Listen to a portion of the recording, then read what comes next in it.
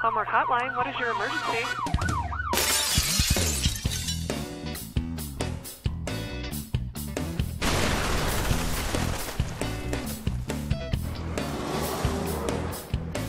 Hello, everyone. Welcome to our live homework hotline show. It's October 25th. It's my mom's birthday. Happy birthday, mom. Yeah, happy birthday, Sam's mom. Happy birthday, That's her Sam's name, right? mom. So we are all here to answer your math and science questions. And we're not just here to give you the answer. We're here to help you with each step of the problem so you understand how to do it. Yep, I'll be able to help you out with your math questions. I'm Nathan, and I teach at Emily Griffith High School. And uh, I'll help you through your science questions. My name is Sam, and I teach at the Contemporary Learning Academy. Like Nate, I can work with you on math problems. I also teach at Emily Griffith High School. Uh, today, we're going to have a science demo. Uh, Sam, what are we doing today? Well, just a little bit of studio punkin' chunkin'. Yeah, so we're here every Tuesday and Wednesday from 4:30 to 5:30 p.m. You can give us a call at 720-424-1666. Uh, we love getting your calls because we can help you a little bit more in depth and actually answer questions in real time. Um, and you can also watch us while we answer your question. Uh, we can also ask you clarifying questions if we don't understand what you're asking. So many things. Yeah, so many ways that we many can things. answer your questions. Uh, Becca, how can our viewers watch? So you can watch our shows in so, so many different ways. This ways. is just a show of options. we have Tons tons, of of options for you guys. For for live broadcasts, you can watch us on Comcast channel 22, Prism TV channel 8007. More options here. Livestream.com. Search for DPS TV 22. Facebook Live at EG Homework or YouTube Live at Denver DPS TV. And the Homework Hotline is also sponsored by various schools, uh, Contemporary Learning Academy and Emily Griffith High School. Uh, Kylie, why don't you tell the audience a little bit about yourself and what you do here on Homework Hotline? Um, well, my name is Kylie. I uh, am a senior at the University of Colorado, Denver, and um, I'm an intern here at DPS TV. Uh, just help with any producing duties for all the shows we do, pretty much. Uh, do you also, what do you do over at the social media board? Well, today we're gonna we have plenty of math and science questions for you guys to answer, and then we will also have a uh, trivia question, and then we will uh, allow you guys to answer it, and then at the end of the show we we answer it, then you guys tell us about it. Um, but yeah, so do we start with the questions? Or? Yeah, what is Yeah. today's question? All right. Um, are we starting with math or science? Or is there a Well, preference? actually, Well, let's get the trivia. trivia question. First. Oh, trivia question. Sorry. Okay, No, so good. today's trivia question is what is the world's tallest grass? that one, that one I, I had right away. You, oh, you know this one. Oh, wow. I have some of it growing in uh, my greenhouse upstairs. Maybe you should sneak out and call in because I heard you can win a prize. Can someone ask? I was just thinking about this. Can some someone ask it as a homework question?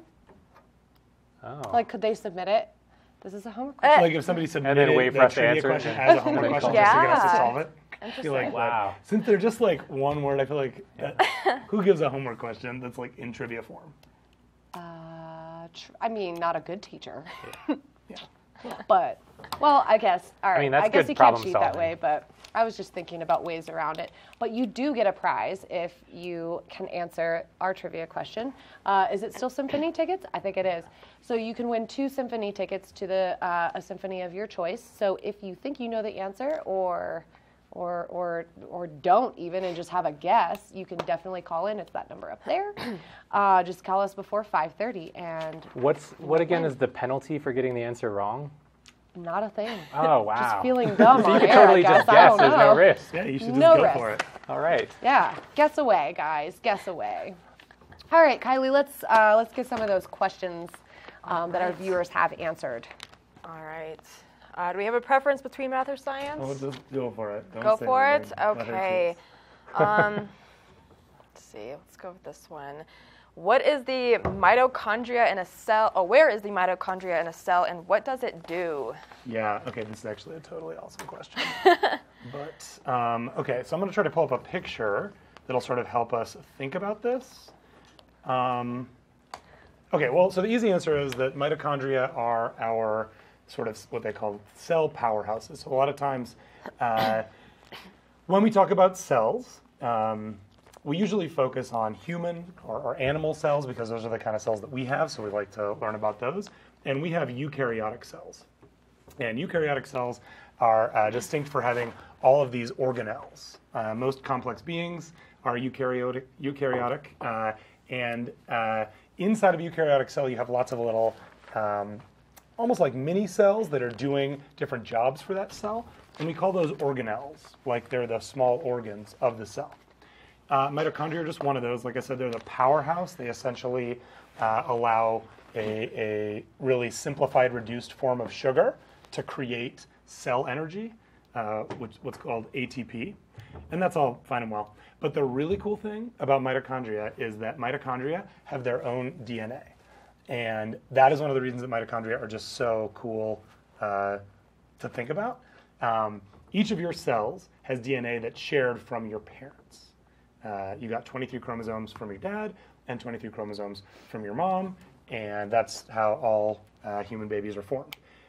But everybody got their mitochondrial DNA from their mothers.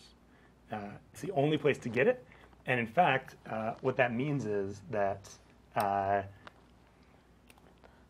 at some point in the past, all that mitochondrial DNA came from one woman and she's referred to as mitochondrial Eve. And she's probably not an actual human, but a simple single-celled organism. Anyways, it's kind of a neat thing, and it gets to this other really cool thing about cells, and I'll just say this, and then we can move on to an exciting math question. But eukaryotic cells have all these little uh, organelles inside of them that are doing different types of work for the cell.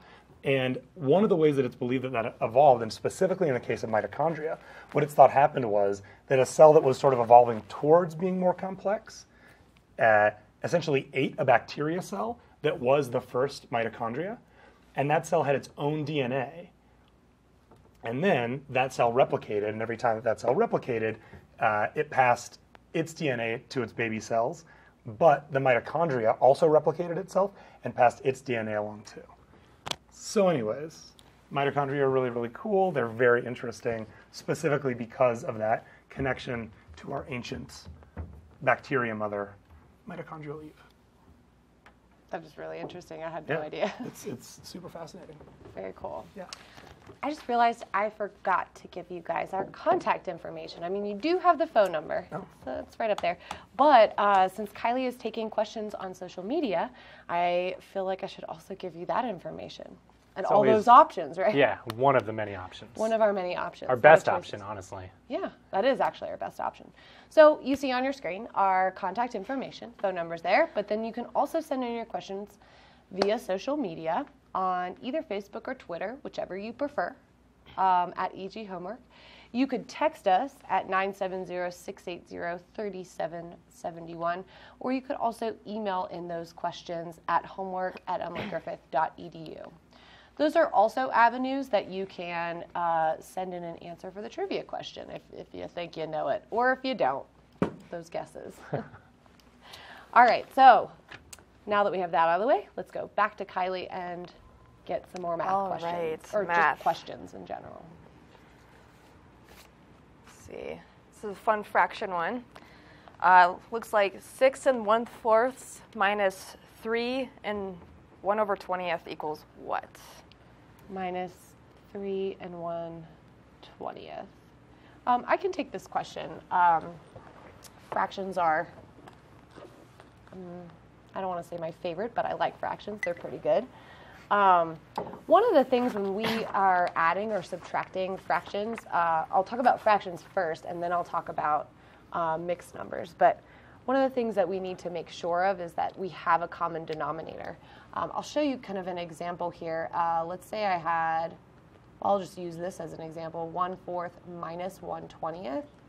Um, think of it as this, 1 fourth, and then take away 1 20th.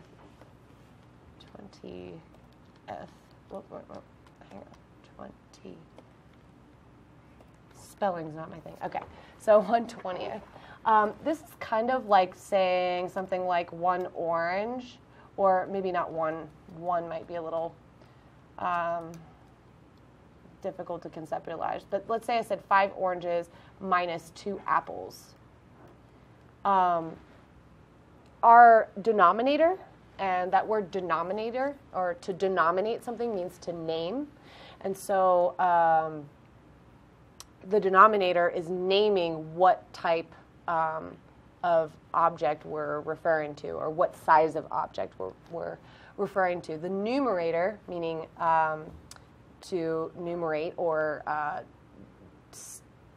say what number it is. So our numerator tells us how many we have, and then our denominator tells us of what. Um, and just like if we were doing five oranges minus two apples, uh, we can't really take away apples from oranges. Uh, the, the name of these things are different, and so we can't really think about mm, what that really is doing. Um, so, what we would like to do, and what is important with fractions, you might already know this, but we need to have common denominators. And um, meaning, if we were taking five oranges minus two oranges, we can do that. That's not a problem. And so, if we had the same name, um, then we wouldn't have a problem with taking away 120th from a 1 4th. So that's our goal is to have the same denominator. We really need to have the same denominator. Uh, so back to our 1 4th and 120th. What we need to do to find uh, a common denominator, actually, maybe one of the things we want to do is find a least common denominator. So um, when we change fractions, equivalency, I can find equivalent fractions by multiplying my numerator and denominator by the same number. And what we want to see is what, uh, which number our denominators can both turn into.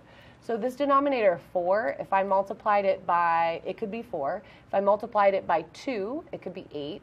If I multiplied it by 3, it could be 12. Times 4, it could be 16. Times 5, it could be 20. So you actually can see uh, that a common denominator already would be 20. Um, I already have one of my fractions as 20ths. Uh, so uh, if I could just turn my fourths into 20ths, then I would have common denominators. So this one fourth, as I mentioned, um, if I multiplied it by 5, I could get a denominator of 20. Now, when we multiply numerators and denominators, we need to make sure we do the same to the top as the bottom. And what I want to point out is this. Um, if I'm multiplying by 5 over 5, what I'm really multiplying um, this fraction by is, is 1. 5 over 5 is just equal to 1. And so that's why I'm allowed to multiply the numerator and denominator by the same thing, because we know that when we multiply anything by 1, we're not changing the value of it. So when I do this, I end up getting, so 1 times 5 numerator, which is now 5, and then 4 times 5 denominator is now 20th. So I know that 1 fourth is equivalent to 5 20ths. So I'm going to rewrite my subtraction problem so that um, I'm in the common denominator, I have common denominators. So instead of saying 6 and 1 fourth, I'm now going to say 6 and 5 20ths. And then, um, sorry, and then I'm going to take away from that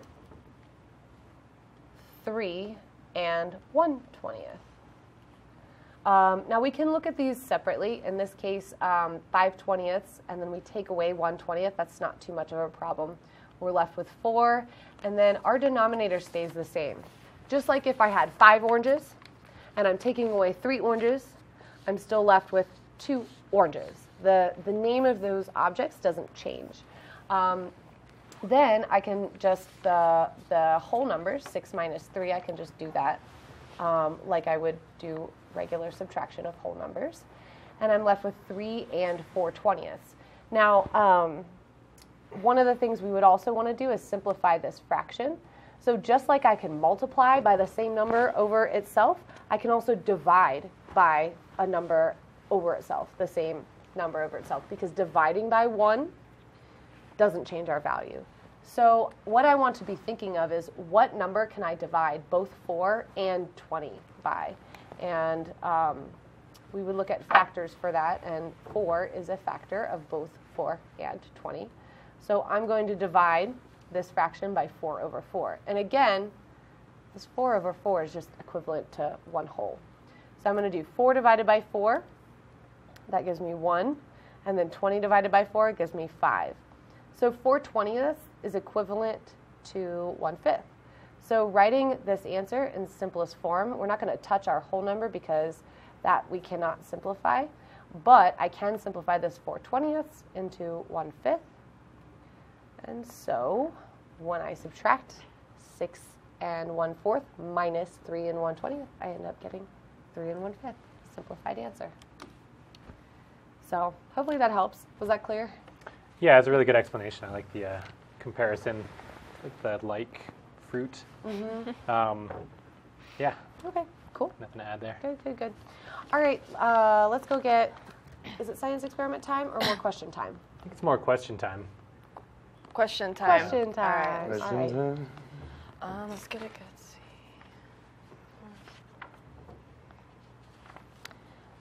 Let's do this. Um, it says a nuclear reaction where the nucleus of an atom splits into smaller parts is known as nuclear fission or nuclear fusion. Ha. Okay, so this is a good question, and fission and fusion are really interesting. Um, but we can, I think I mentioned this in the show before. Sometimes I feel like when questions like this are asked of you, what it wants is that you have an understanding of what these two things are, so you can tell the difference between them. But I just want to point out that there's really some easy vocabulary here that we can think about to just figure this out. So there's either nuclear fission or nuclear fusion. Fission may be a little bit harder, but let's just think about fusion.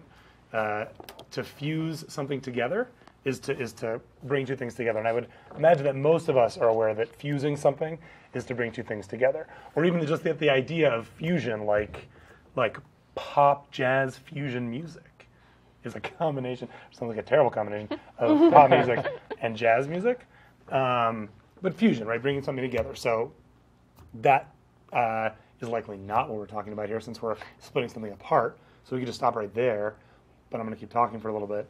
So fission has the same word root as the word fissure. So that's the easiest thing I can think of. But if you think of like a fissure, that's a, a crack in the earth. So it's a splitting of the earth. So, so the root for fission is, a, is splitting. And, and literally, when we talk about nuc- when we talk about nuclear fission or fusion, we're talking about at the level of the nucleus inside of an atom. We either have that nucleus splitting apart, or two nuclei coming together to form one. And I'll just make a, a brief little foray into talking about nuclear weapons because I think that's a lot of times what people are interested in when they're asking this question. So, um, nuclear fission is when a large atom breaks down into smaller pieces. In fact, that's how radioactivity works too. We power our our uh, uh, uh, nuclear power plants using fission. So you've got, say, uranium, and it's breaking down, and sort of the spitting off of pieces from the nucleus creates heat, and we use that heat to boil water, and we use the, the boiled water, the steam from that, to turn a turbine and create electricity. Um, or in a, in a fission bomb, you have a, a bomb where you're going to create an explosion inside of something that's going to split the nucleus of some kind of a large atom, like plutonium, let's say. And uh, the, the explosion that you cause breaks that uh, nucleus apart, and the breaking of that nucleus releases even more energy, which is uh, a nuclear bomb, sort of a classic nuclear bomb. Uh, and then there's an even more frightening kind of bomb uh, called a, a nuclear fusion bomb or an H bomb, where you take two hydrogen atoms and you use a fission explosion. So, like you like break down plutonium to create an initial explosion, and you use that explosion to force two hydrogen atoms together, and the forcing of those together uh, overcomes something called the the strong force, which is what keeps um, atomic nuclei from running into each other. Like I can't push my hands through this table because the nuclei of the atoms of this table are pushing back on the nuclei of the atoms in my hand, and so there's no going through there. But this is uh, you can overcome that with enough energy, and when you do, you push the nuclei of two atoms together and they become one. And this is actually how we make complex elements. So inside of stars, fusion happens inside of stars. Uh, lighter elements are fused together to become heavier elements. And that's essentially what happens in a fusion bomb, although we're really just looking to do it one time to spark a chain reaction that creates a very, very big explosion. Very interesting. Okay, I think we have time for more One questions. more? Yeah, let's Yeah. go get more questions. All right. Let's see. That looks like science. Science. All right, here we go. A real estate agent gets 8% commission for every house he sells. If he receives 8,750 commission for a house he sold, how much did he sell the house for? Okay, I can take that one. I'm probably gonna need that information again. Okay. Um, so you said this is related to real estate commission. Yes, the real estate agent gets 8% commission for every house he sells. He received 8,750 commission for a house he sold. What did he sell for? I was trying to write this and I put too many M's. Eight percent commission and he received eight thousand seven hundred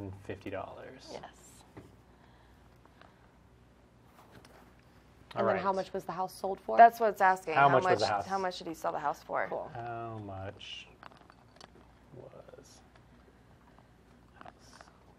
So this is our question here. So mm-hmm. we know a couple pieces of information. We know he gets 8% commission. We know that he earned $8,750. So we want to know how much the house was. So this is one of those, again, that it seems a little tricky at first because it seems, I don't know, backwards from what you're used to. Normally it's like, oh, I sold this house for 300000 I get 8%, and then you figure out the commission, right? This is like going the other direction. So we can always do this. You know, we talk about this a lot, but uh, if you think about what you're looking for, what you don't know in math, we always talk about setting up equations that really kind of helps uh, with this process. So we want to know how much the house was. So we can set up a variable and we can say C is going to be the cost of the house. So I'm going to assume that you're comfortable with percentages, so I don't have to go into what percentages mean. Um, but again, all we need to do is set up an equation for this and say, okay, 8%, we can rewrite this, and anytime we're working with percentages, almost always algebraically, we convert them into decimals. So we know that 8% is 8 out of 100, which is 0.08. So the equation that we can set up is we want to know 8%. I'm going to write this out as a kind of a sentence first, in a sense. 8% of what is going to give me that $8,750 commission. So I wrote this as a, out as a sentence, but we can rewrite this as an algebraic equation. And we can say 8% written as a decimal is this right here. So we can say 0.08, we got this part, of what? And in this case, we're looking for the cost of the house. So 8% of the cost is going to give me that $8,750. And then once we're here, well, we just have an equation that we can solve. It's really just a one-step equation. And we can say if I'm solving for C, this is 0.08 times C. So we're going to divide it by 0.08 on both sides. I can't do this in my head. So 8,750 divided by 0.08. This house actually was C equals 109,375. So that would be the cost of the house. Um, again, one of the, the great things about like these kind of problems is you can always check it and think just working backwards, and it might seem a little bit redundant because we just kind of did the opposite. But we can say, okay, is 8% of 109,375, does that equal the other, does it equal 8,750? So we can always just test that, and we would get that. So that's how you'd figure that out. Nice. Cheap house. Yeah, very high percentage commission there. Yeah, what a racket. Yeah. Right? Eight Should be- percent. maybe we should be real estate agents. I was just thinking to that. I was like, well, I'd be a real estate agent if I made that much money. Yeah. Oh, If I can you sold that imagine though? house. I would love to find open a house for houses you would have to run 110,000. at Yeah. rate in Denver. Can you imagine? And then get that much commission to man. Yeah. Ah, wrong wrong career apparently. right. Just changing the lives of children. Jeez. It's terrible. Just All right, kidding, so we're going to take a little bit of a break, and then when we come back, we're going to do um, our experiment, the one, the one where our clue was was punkin' chunkin'. So who knows? I don't know. All right, well we'll see you soon.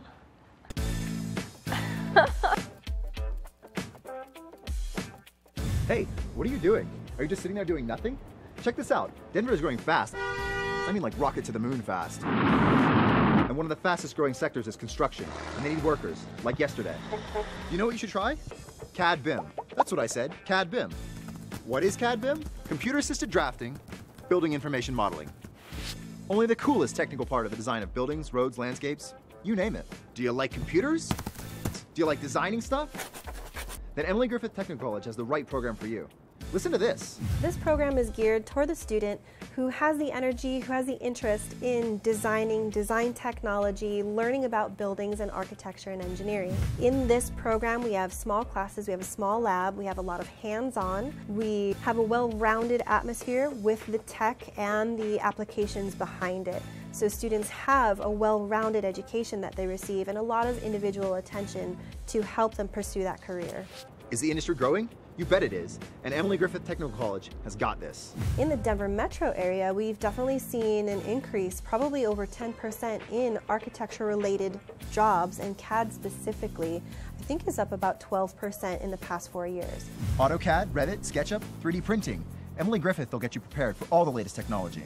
There's actually a wide variety of jobs that uh, students of a program like this can go into. So architecture and construction are the base, of course, but there's also engineering, interior design, construction management, uh, civil engineering and landscape design, uh, even transportation and manufacturing. There are lots of different avenues that this lends itself to. They'll also learn the other side, which is uh, how buildings are put together, materials, methods, practices, and some industry practices as well. Get up, get out, and get signed up now. The program is part time and lasts about a year, so you can work and go to school. So the only question left is what are you waiting for?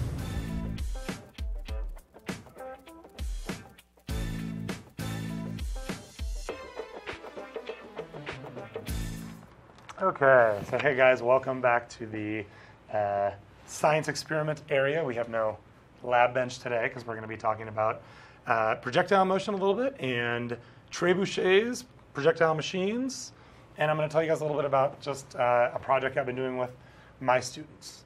So let me start by I'll give each of you guys a pumpkin. So we'll kind of All so I right. don't know a pumpkin for you. Oh, I get the little one. I'm just gonna have two watch. pumpkins. okay.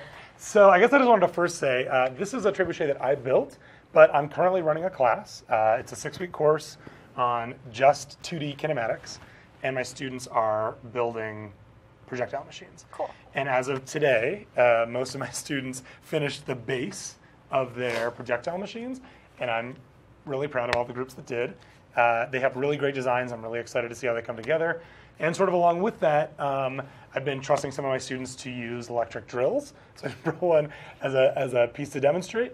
Uh, if anybody at home is thinking about trying to do something like this, build something like this, it's so much fun, totally worth doing, definitely requiring adult supervision. Um, I don't allow my students to saw the wood, I just end up cutting it for them. But we've done a lot of drill safety stuff together, and so I feel good about letting them uh, put these together. And I just wanted to mention that I think that I've seen in my students a lot of them taking sort of control of the project a little bit when they get to put their hands on it and make it themselves. And so it's been really neat to see. So, anyways, I brought a drill just to say all of that. Anywho, um, but let's talk about what the machine actually does. So this is a trebuchet. Do you guys know what a trebuchet is or how it works? Basically, a catapult. Like a catapult. It's yeah. like a catapult. Okay, sure. It's a catapult. how is it like a catapult? What makes it like a catapult? It launches. It flings on- things. It flings things. So in that Yeah. sense, it's like a slingshot too, Yeah, right? a slingshot, It's that's like what I a, it's said like a projectile machine. We would call it. It's a machine that produces a projectile. It's like those tennis ball shooters, right? But it's different than a catapult in one important way. You guys can can you tell why? Is it how the- just by looking at it? The mechanism that launches it. yeah, yeah, exactly. The mechanism. So in this case, can you tell what the launching mechanism is going to be, Nate? I'm gonna guess it's the weight and Yeah, thing. exactly. So it's just the weight in the arm, right? So the arm will come back, and it's the, the weight on Hmm. the end of the arm that's going to allow uh, the payload, the, the projectile, to be shot, right? And a catapult, do you guys know what it is that creates that force? I feel like it's like a giant slingshot. In some senses, it can be like a slingshot. Yeah. So that's the, the Elastic. force of it it's elastic, elastic force, Yeah. or, or a tension force. Yeah, but but an elastic force essentially, right? Okay. So um, and that's been kind of fun to have students look at different things. I have some students building ballistas, which are gigantic, essentially uh, crossbows, Hmm. um, and I have some students building gigantic slingshots, like literal pumpkin chunkin kinds of things. Do you guys know what pumpkin chunkin is and like how it works? No. So it is it is a pastime, an October pastime of some people, not really of me, but I've seen it done. I've seen a Um, giant pumpkin gun. Is it, is it a pumpkin gun? It was a gun. Okay, so Yeah, this just is like a, out. a huge slingshot, like a big sling, kind of like what we have here, Mm-hmm. and you go out to, um, you know, like a forest or somewhere where there's two poles, and you hook one end of the slingshot here, one end here, and you literally get a pumpkin, and you go as far back as you can. Have your friends pull you back, and you launch a pumpkin as far as you can. There's an episode of Modern Family. That's the- This episode Malcolm That's in not the where I Oh, got that most of- must be where I've That's where I got most of my education on this. So I don't really know what you're Familiar. talking about. But anyways, um, so we're going to be kind of doing that, and uh, uh, yeah, we'll we'll just get it set up. I'm going to show you guys how it works, and then I'm going to let each of you try to launch the cannon. We'll just see how it does. We've got uh, I don't know if we can get the, the wide shot of the studio, but we have um, a, uh, a science model. Human body ripped open. We're gonna see if we can't uh, hit that guy. I don't know if that's something we can see, but I don't know. who knows? Doesn't matter that, anyways. Okay, so um, There so it is. We can see it now. No. that's what we're gonna do. We want it to Alright. point this direction, so we're gonna pull it back this way. Okay, and you can get an assistant to help you if you want somebody to hold it back, because then what you need to do is set up the sling. Okay, so what you're gonna do is you're gonna set the sling back here a little ways. You're gonna take your pumpkin, and I won't launch it, Nate. I'm just gonna Okay. show you. Okay? Don't worry. I know you were worried. Yeah, I wasn't gonna let go of that. Okay, so you, know, you put this here, put the pumpkin in the sling, and then you see how you have a loop on the other end here? Okay. There is a screw over on this side. Oh, that's It's the kind of hard to see. screw. It's a it's a pin essentially that Okay. you can use, and that loop's going to go over that. Okay, and then we just want to kind of create you know as much tension as we can here, so that the uh, thing will stay on a screw, and then you would un- you want your pumpkin to be on the thing, and then you would release it, and it should it should fly. It should fly. It should fly. Okay. We'll see. And if you want, Keyword I can should. actually be the person that holds it back, and you can tell me what. Nate, you first. All right. Is there a way to adjust Careful. the, how far it goes and how Um, high? so I mean, point? you can pull it back further. You can go Okay. all the way to this point, and that's going to give you the most. Uh, I think I'm gonna want to go with Furthest. that. Okay. So why don't you why don't you do that? And I'll, I'll hold it down like like this for you. So But well, you smack get my it face up, with and, the. then, Uh, I'll- and then you can. all right. Let's try to get with all these cables we Yeah, got all the going wires. on. Jeez, kind I might launch myself by Just don't accident. hit the social media board. Yeah. All right, so we're pulling this all the way down, Okay. bringing this out. And in some ways, like launching a, a trebuchet well is a lot about the setup. Um, and there are definitely much more beautiful and well put together designs than I have. Mm. Okay, Nate, so you hold here and you get to launch it, okay? All right, so When you're ready. I- ready. am good with how it is right now? You're good with how it is right now? Okay. All right, that's I got say. it. Oh, Oh, oh, hold on, it. the thing fell off. So really keep it at that. Yeah, give it, give it a little bit of little pull, it, tension. pull back a little bit. Oh, we got to make this tense. Yep, just as much as you can. That should be fine. Okay, Okay. Just let it go. go ahead, bud. Oh, it didn't go anywhere. Okay. well, Nate, you It must have been an engineering Fred, flaw. It must have been. It almost certainly was an engineering flaw. Does it need to be heavier? So no, actually, uh, launched these pumpkins before you guys got here. Okay. Totally functional. I functional. think it Okay. slipped I off. think just- that I think in, part of what it was is we had it sitting sitting here, and you kind of, if you can back up for yours, I'm gonna have you do if you can kind of get it Turn it. like this, so that Okay, it's sort so of like it's gonna it pull back. forward. Does that make sense? Yeah. Nate, if we have time, I'll let you All try right. this. So then before Rebecca and Kyle. Failure. Seems a little unfair to me, but It's it's all right. I, I'm glad I I'm got an to go adult, so I'm not going to right? complain too much. Very nice. Very nice. just Meg, would you like me to hold this for you so you can set it up? Sure. Okay. Get over there. Yeah, it's a little bit funny and kind of awkward to set up, uh, but that's part of what makes it fun. Okay. And I will say I only had one student group go for the trebuchet system. Uh, I think it is probably one of the more finicky ones to get right, but once you do get it right, it is a really cool thing, I think. What kind did they have in Braveheart? Didn't they have those in Braveheart? Oh, Braveheart, is it a trebuchet? I don't know. Is it a weight? Do you remember? Is it a weight that brings down the arm, or is not it sure. is it tension? No idea. I think it might have been a weight because I think they cut something and it released it. Uh-huh. Well, so you can do that with both catapults or trebuchets, but, Yeah. but definitely possible. I'm not I'll have to watch sure. again. Folks out there in, in TV land, if you want to Google that for us and put it on our Facebook page, we'd appreciate it. I think I'm You ready. ready? Okay, you, you got it now. It's all you. Oh boy. Let her rip. Oh boy. Oh no! Where'd it go? It. It Oh my gosh. Oh, All right, Kylie, last try. Now I might have Yeah. to do it just to prove that this thing actually works. I all know- right. I know none of you believe me. You're the expert. All right. If this It were really medieval takes- combat, we'd be kind We would be in, in bad so spot. much trouble. The, would uh, be- Relying on this. Bombarded already at this point. yeah, the army would have sieged the castle. Yeah. Would- This time we would just be goners. and Kylie, can you sort of pull that loop out a little bit? Oh, All right. What do you mean? so just on the end of this rope here. You got it. Okay. So that piece there. Let me see that for a second. We just got to kind of pull Oh, I see. this loop out. Tighten it. and then you can loop that around the thing. Okay, come on. Okay, so see if you can, yeah, kind of, okay. But see, it's gonna just Stress pull out it? from underneath it, so can you kind of put it up on its side? Yes. Oh. Yeah, let's try, let's try that. Ah. Let's do it like that. Okay, let's just see what happens, guys. You ready? You do- Okay, I'm gonna, I'm gonna let it go. You ready? Oh, it did a full well. circle. We need something in the middle. Okay. Okay. Here we go. Okay, show us how it's Last done. time's the charm, Show right? Oh, and you know what? done. Part of it is, I think, is that this loop got all tight here. Oh, jeez, oh man. All right, people. Here we go. That was Was that, was that that was exciting? really Okay. funny. Yeah. Sort of It more just exciting than what we had. Here we go, folks.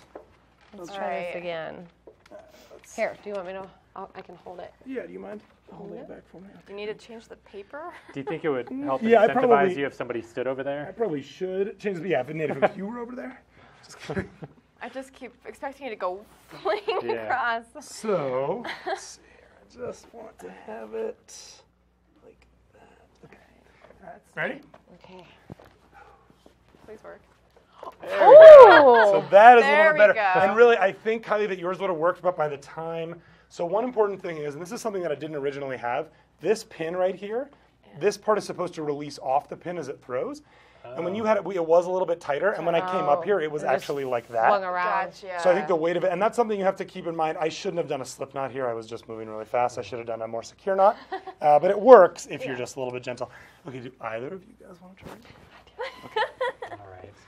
Man, we launched yours. I don't know. It's hundreds of miles away. Yeah, point, it's, so there's it's nothing, gone. nothing we can do. But uh, you know, if Becca screws up, you can try again. I might. oh, Becca, let me hold it for you. Okay. Something that you just have to keep go- trying and trying and trying. Yeah. And uh, you know that is actually one of the things, the parts of the project that's been really fun is it's not just this aspect of it, like the launching, but my students have produced three drafts before they Okay. started making the base, and you know I feel like work? they have gone through. I think you're also you go you go ahead and hold it. Okay. Push down. All right, Stuck there for it's all you. Let her rip. Hey.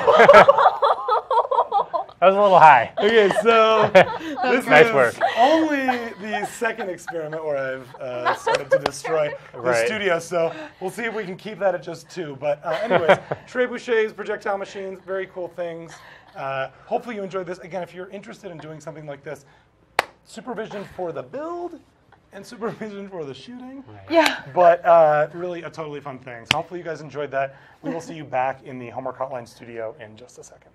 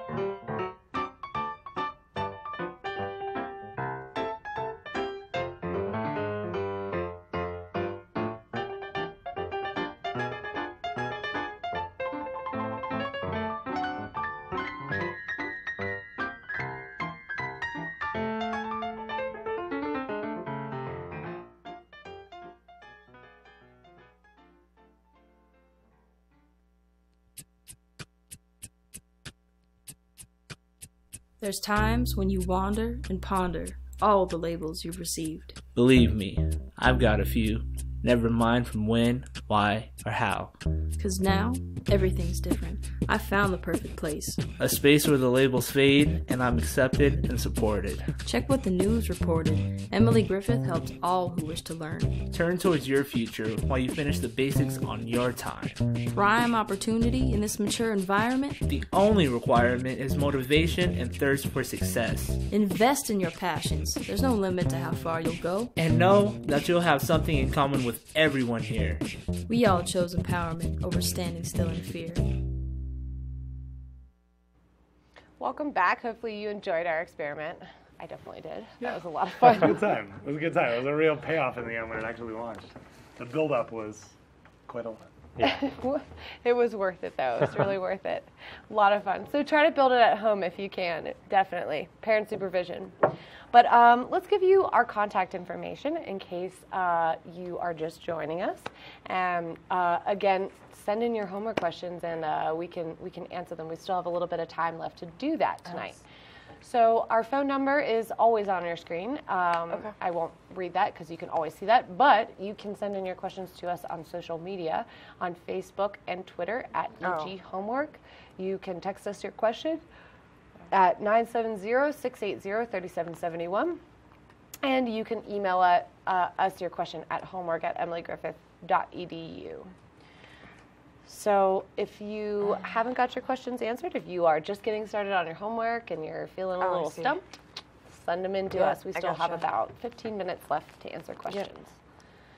Um, let's go back to Kylie at social media and see what questions we have All right, looks like us. we have a new one under our Facebook page. Um, it says, uh, it's a math question. Uh, can you help me find the greatest common factor of 24, 40, and 60? Okay. Um, I, I That's, ac- you can go ahead. That's actually going to be kind of similar to what you were doing with the um, least common denominator, right? With the fractions. Mm-hmm. so you said the numbers, Kylie, one more time. It was 24, 24, 40, and 60. 40, and 60. Okay. Um, so uh, when we do greatest common factor, let me actually break this down. This word. I, I wrote GCF just because that's probably um, how it's most commonly known. But greatest common factor. Um, first off, let's just break down what this actually means. Um, first, we'll go with this word factor. A factor or factors are numbers that multiply together, or not just numbers, but um, they could also be variables, but they are um, things that multiply together to give us a product. So, for example, if I did 2 times 3 to get 6, my factors are the numbers that multiply together to give me that product of 6. So 6 is our product, is the name of our answer when we multiply. Product. So um, factors would be numbers that multiply together to give us these numbers. So, for example, uh, factors of 24, maybe 1 times 24, uh, 2 times 12, so on. Um, the next thing we can maybe break down is this word common, meaning, um, well, if uh, Nathan and I had something in common, for example, we have the fact that we teach math in common. And so um, something that's common between us is something that's the same. So we're thinking of factors that are the same. Um, and then greatest meaning the largest. So the largest factor that's the same on our list of factors. So I have this little, um, this graphic organizer or maybe a tool that might help with organizing greatest common factor. I think remembering back to my struggles with um, finding greatest common factor was was just making sure or knowing that I had all of the factors. I definitely knew things that multiplied together to give me 24, but I was not sure, especially when I got the, to the larger numbers, um, if I listed all of my factors. So I have um, I have a little bit of a, a graphic organizer that you can use to to help you make sure that you have all of the factors listed. So, uh, for example, 24 we're going to, I, I do, it's like a little T-chart, and I'm going to list my factors in the T-chart.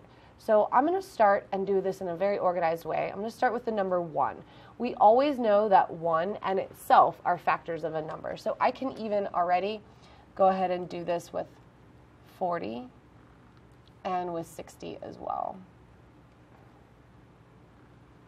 And I can say 1 times 40, that's going to give me 40, and 1 times 60. So we always know 1 in itself. Um, then, so the way I organize this is I'll, I'll just kind of continue going up um, in the numbers. So I'll start next with 2. And is, I asked myself, is 24 divisible by 2? Um, and if it is, I can do 24 divided by 2, and that'll give me my other factor. So in other words, 2 times 12, 24. I'll continue with this process, so 3. 24 is divisible by 3, so 24 divided by 3 is 8, so therefore 3 times 8, 24. Keep going, 4, it is divisible, we get 6, and here's how I know I'm finished. So I'll try 5. Well, you might know that 24 is not divisible by 5, so I might cross that out.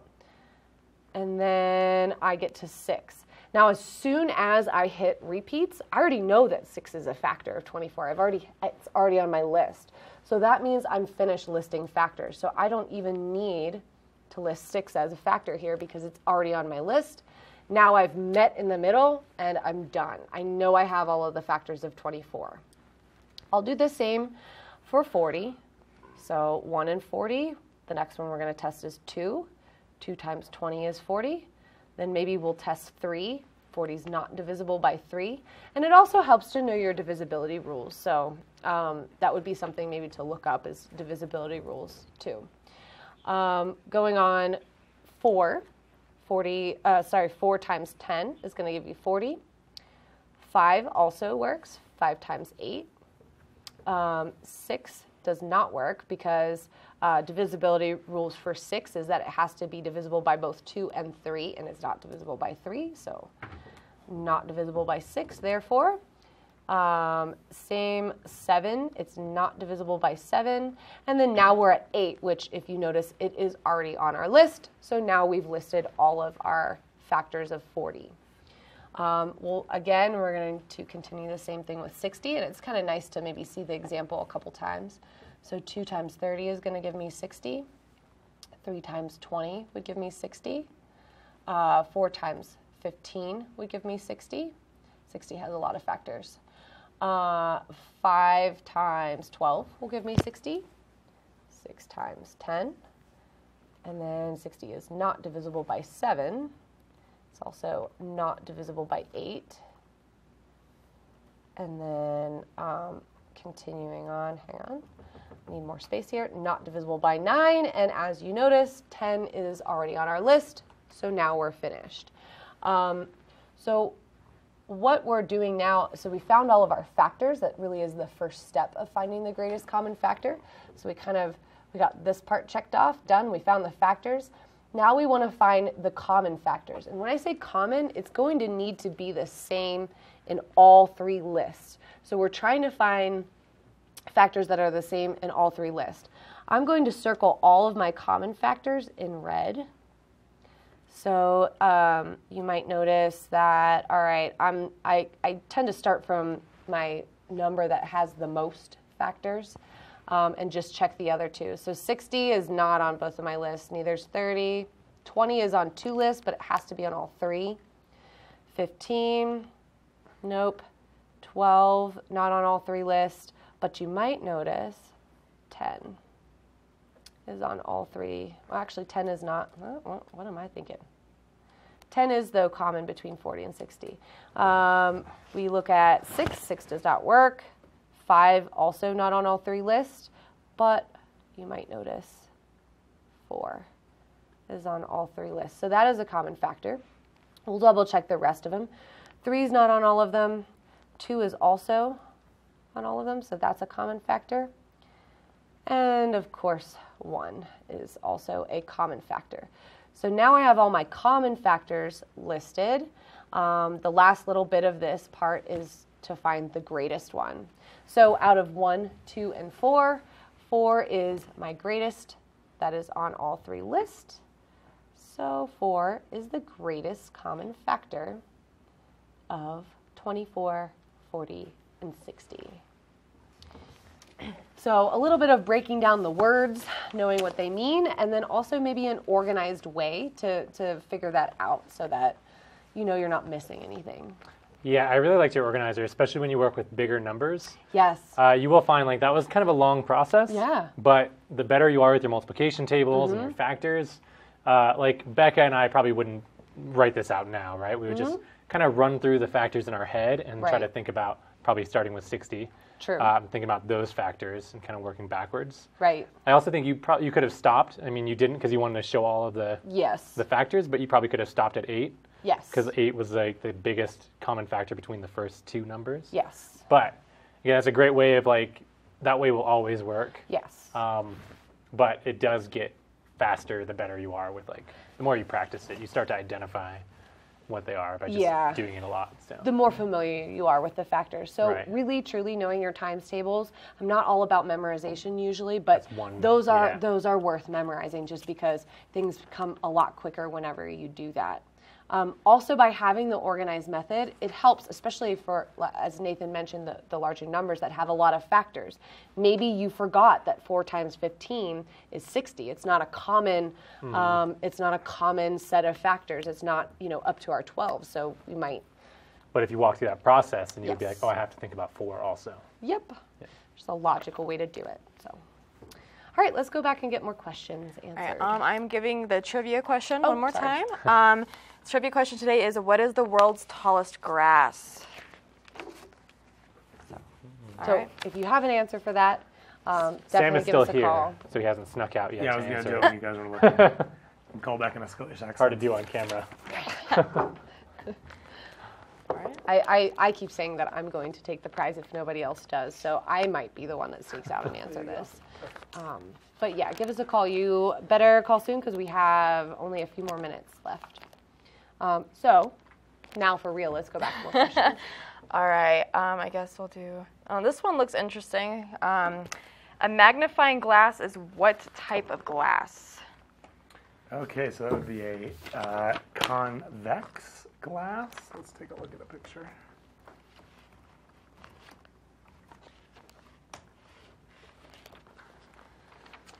So let's see. These are not good images. Give me just a second to pull something up and. Okay. Well, actually, okay. Just a moment. So, okay, let me start by saying, and I'm going to be looking for this while I talk to you, but um, let's just think about the difference between a convex and, and did it ask about those two specific types? Did it say?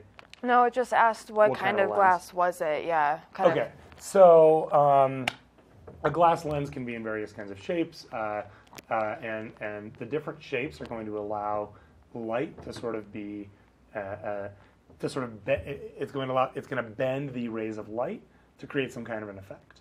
This is something we see all the time, but magnifying glasses are convex and very specifically so, uh, so that you end up uh, widening uh, whatever the, the focal point is and seeing something as larger than it is. So if, like, for example, you're looking at text on a page and you, uh, you're seeing like a small A, let's say, that uh, letter uh, is essentially spread out because of the shape of the magnifying glass. So I don't know if there was a specific kind of lens they wanted to say, but convex is essentially the, the answer to that. Sorry, that was a quick one, guys. we can do You another science be one. sorry. If you, You if you should feel like that was unfair, we can do another science one. Let's do three more. Well, do we? Okay. We have time, I think, for for another question I- we- before. A quick one. Um, let me see what I can find here. Is there a projectile motion question on there? Do we, is it a quick one? Yeah, I have saw that word. Probably not. Probably not that one. So don't do that one, actually. Although that would have went well with your Well, trebuchet. right, is so that that's what what I was thinking Yeah. it'd be great to do because of the I, you know, I see one up there. It says, "What is a prime number?" Yes. What is a prime one. number? Oh, and one. since we were just talking about Yeah. factors, That makes sense. Is that what we want to do? Prime Yeah, number? let's do that. Okay. That was fairly quick. all right, all All right, so I'll take this one. And you can feel free to jump in and add anything because, I mean, I'm going to give like the what it is. Um, if you can think about like why it's important Okay. to know. Um, so prime numbers, we have two, I mean, we have a bunch of types of numbers. But when we think about prime numbers, we also think about composite numbers. And if you think about what a composite number is, well, we're, we're going to talk about like what factors are again. Factors are two numbers that multiply together to give me another number. So if I said six like Becca's example, 2 times 3.